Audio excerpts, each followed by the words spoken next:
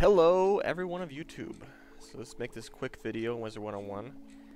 Uh, basically, I heard that the Morganthe jewels can be unsocketed.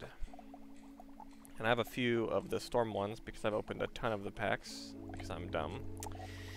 So we're gonna socket into this thing and then see if it is unsocketable. So here it is, a fix. Right there. Unsocket. Sure you want to return the Morganthe Angst Am Amethyst to your inventory. Yes. And there's three there, and if you go to the jewel inventory, there's three right there. So yeah. I did not know this was possible until like two days ago. I wish I did before, but that's whatever. Now you all do. So, uh, enjoy socketing.